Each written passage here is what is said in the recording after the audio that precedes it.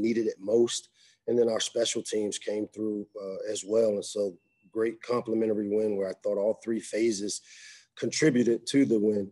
Um, we had some uh, great contributions from individual. Uh, Jake Funk uh, did a great job in the run game, a guy that's been around here and been through a lot.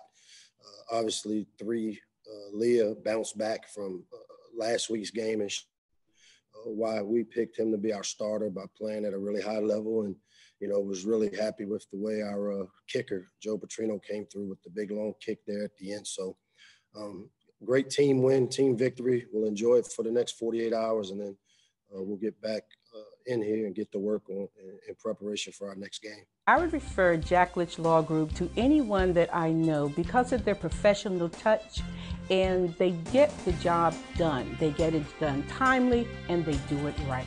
As you just saw, our clients have trusted us. We need to reward that trust, and we have with great results and great service. So call the big dogs right now. Don't wait. Find us online at bigdogssmallfirm.com. Thanks, Coach. We'll start with Lila for our first question.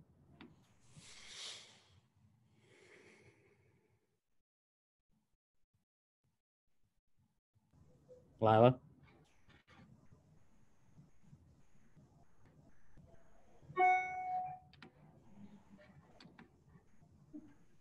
All right. Sorry, my uh, sound isn't working, so I'm hoping you can hear me. We could hear you. Okay. Um, so I guess just in terms of the defense being able to um, turn around their performance after um, you know struggling for for most of the game, what stood out to you most um, about what they were able to do, especially in that fourth quarter? Well, I think it's the energy level that they played with. You know, I thought early in the game uh, we got caught to where I didn't feel like we played with the intensity or the energy level that was going to be necessary. We knew that this was going to be a fist fight for us. For us, Minnesota doesn't try to hide what they do. They want to run the football, and uh, they were able to do that earlier in the game. And you know, it was really frustrating for us because on the offensive side of the ball, I thought we were playing really well, and if we could get the ball back, uh, you know, we'd be able to continue to move the ball because of how we played. But as I said before, you know, our defense kept banging away. They kept fighting. They kept playing hard. Rotated a bunch of guys in there we got some stops when we needed them most there late in the game. And I thought the energy level changed, you know, as they continued to have a little success late in the game with getting off the field. I, I, saw the momentum and the energy pick up on that side of the ball. And I think it was more effort and energy than it was anything different because we outnumbered the box all game long uh, from early in the first quarter to the end. And uh, we just got off blocks and made plays.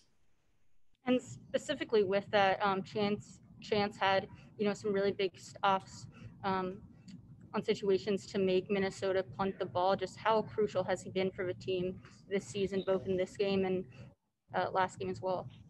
Yeah, you know, Chance is a guy that's played a lot of football um, during his time here, and he's a guy that's really grown into uh, the a leadership role for our team, not just on defense.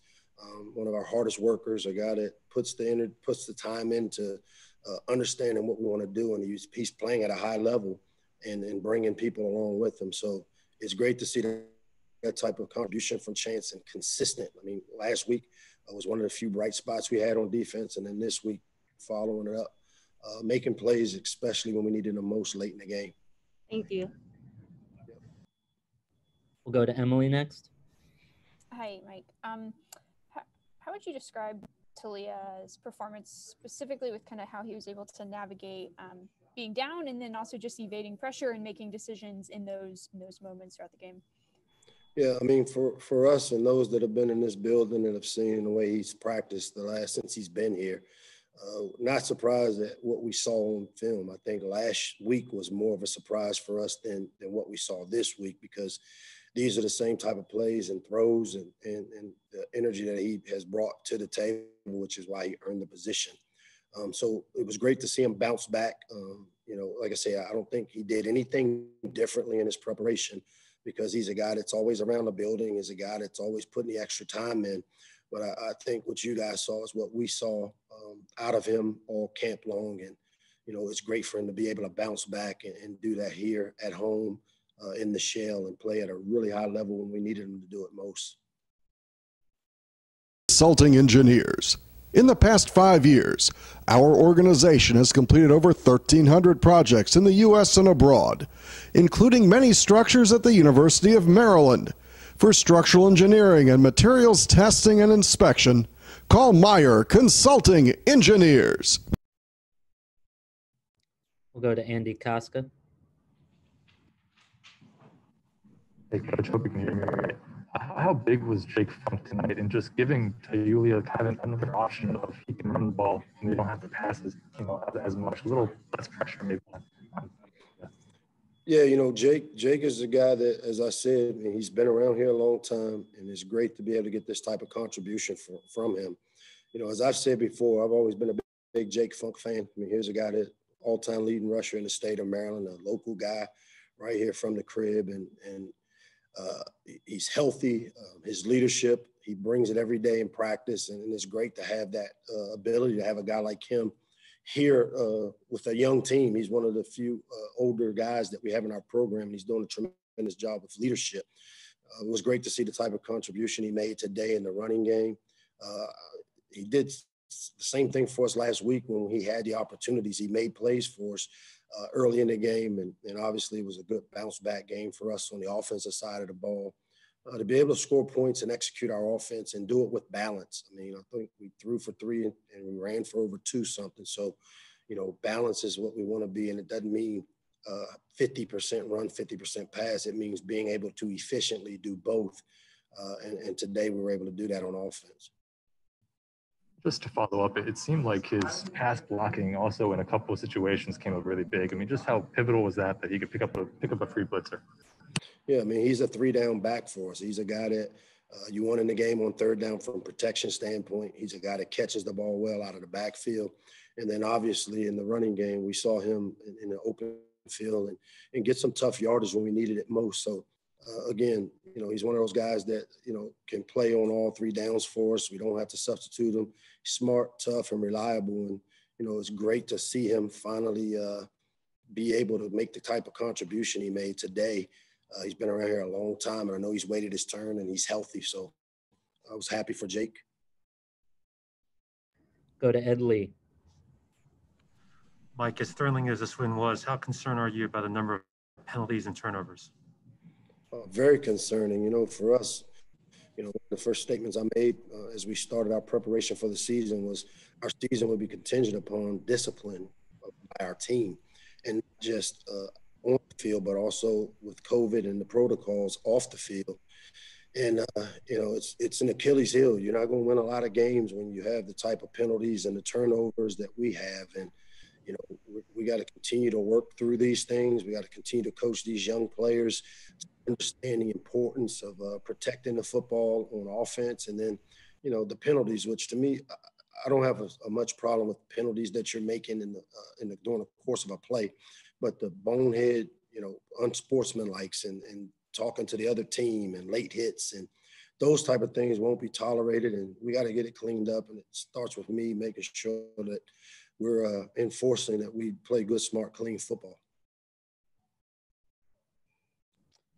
We'll go to Alif Kareem next. Hey, Coach. Hope you can hear me. I can hear you, Alif. Coach, how great is this win in terms of the confidence boost it gives to your younger guys, and especially picking this up at home, knowing you have an equally tougher opponent next week?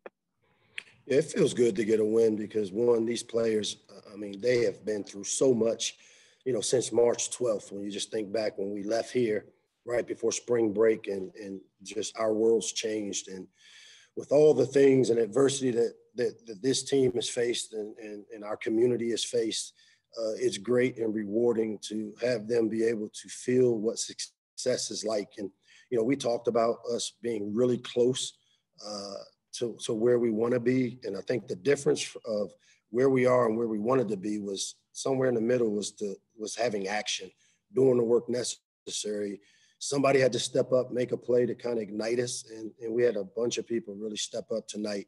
And, and again, in all three phases, especially when we needed it most. So great team win. Um, proud of this team. it's a character win for us, and it's one hopefully we can use to build upon. Go to Jacob Steinberg. Hey, Coach, can you hear me? I can hear you, Jacob, just barely.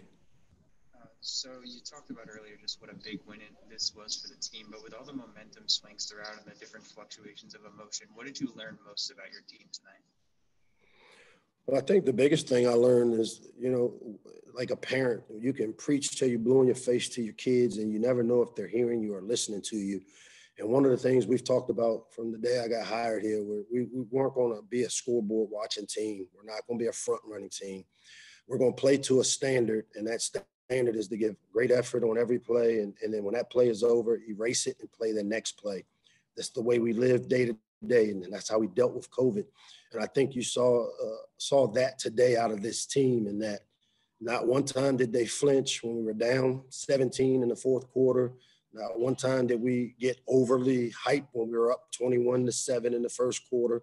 We just kept playing, and you know we preached that to our team that we're not going to be a team that watches the scoreboard.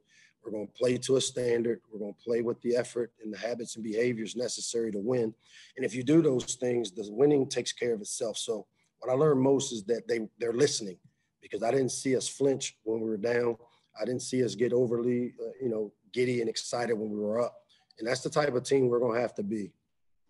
Just a quick follow up. How satisfying is that for you and your staff? How satisfying is that for you and your staff to know that everything that you've been preaching this offseason came to fruition tonight win? I mean, like I said, I mean, as a parent, when your kids regurgitate the things that you've said to them when raising them and uh, to see the our guys fighting to see them again, like I said, never flinch during the course of this game. Uh, some critical stops at critical times, uh, fought through adversity with penalties, and again, a lot of things we got to get cleaned up. And, and, and, I can't wait to get in, enjoy tonight, and get in and start getting this stuff corrected. Like I said, we got a young team. 21st year players played last week. I'm sure we played quite a few of those guys today in critical situations. And so, with every game and with every rep, uh, we're building the toolbox of experience that we're going to hopefully be able to lean on as we continue to play in a really tough Big Ten schedule that's coming up.